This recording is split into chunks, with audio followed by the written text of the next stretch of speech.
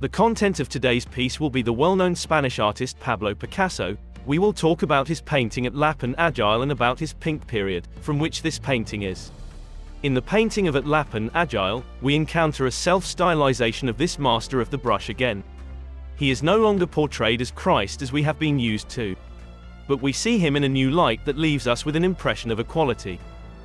The lady next to him beautifully shows that Picasso was not just a self-taught genius, but that he was deeply familiar with the art of the time, especially Impressionism and the work of Vincent van Gogh.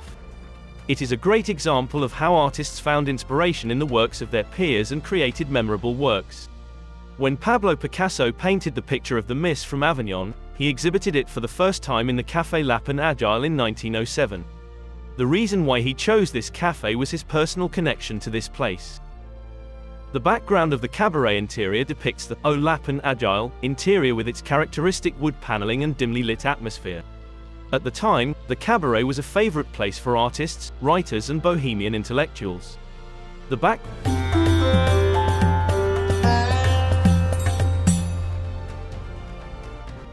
ground of our scene is occupied by the man who commissioned this work. This man insisted on composing himself into a picture, and not only that, he tries to suggest to us viewers that what we will see is just a two-dimensional surface. This makes us think about the boundaries between reality and art, which is extremely interesting. An interesting technique that we can see in this work is Japonism, which Picasso was inspired by in Japanese woodcuts. This technique brings realistic depictions into his work and gives us a view of the world through his eyes.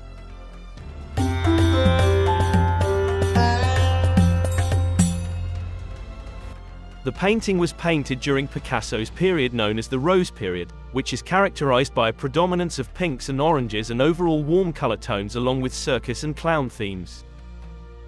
Harlequin is holding a glass in the painting, which gives the impression of intimacy and a personal moment. Some interpretations claim that the glass may symbolize the loneliness or melancholy that Picasso explored during this phase of his work. The pink period was when Picasso began to deal with more serious and profound themes, and the figures of clowns and harlequins often became providers to express emotions and feelings, and although the painting may at first glance be simple in its simple setting, it holds a much deeper meaning and richness artistic emotions. The painting invites us to explore the world of magical characters and look inside the artist's soul. Overall, the painting captures the bohemian and lively atmosphere of Montmartre's cabaret scene and provides a glimpse into the world of artists, performers and thinkers who frequented at Lapin Agile at the time. Picasso's unique and expressive style brings each character to life and invites viewers to interpret the emotions and interactions depicted in the artwork.